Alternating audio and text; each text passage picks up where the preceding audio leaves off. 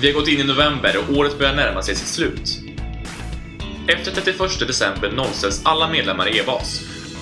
Antalet medlemmar upp till den dagen ligger till grund för det ekonomiska medlemsbidrag och service ni kommer få nästa år. Vi lanserar härmed tre tävlingar som gäller från 10 november till 14 december. Den första tävlingen handlar om störst medlemsanslutning under hela året. Ett exempel är att kåren X har 150 medlemmar 10 november av de 600 elever som går på skolan. Det är 25% anslutningsgrad. Den 14 december har medlemsantalet ökat till 550 stycken.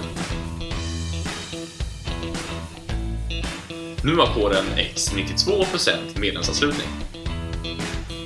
Tävlingen mäter alltså den anslutningsgrad som kåren har vid slutet av tävlingen oberoende av vad kåren hade innan.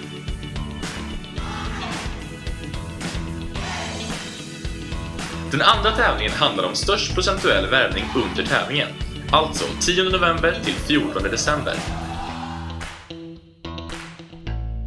Tävlingen mäter procentuell värvning under tävlingsperioden.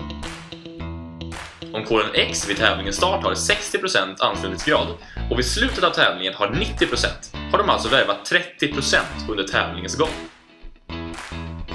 Kul!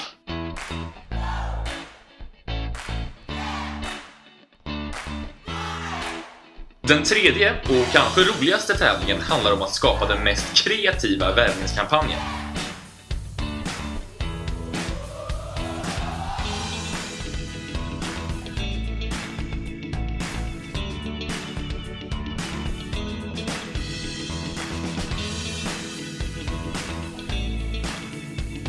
Det juryn kommer att titta på är kommunikation, innovation, kreativitet och vilken effekt värvningskampanjen får. Kul!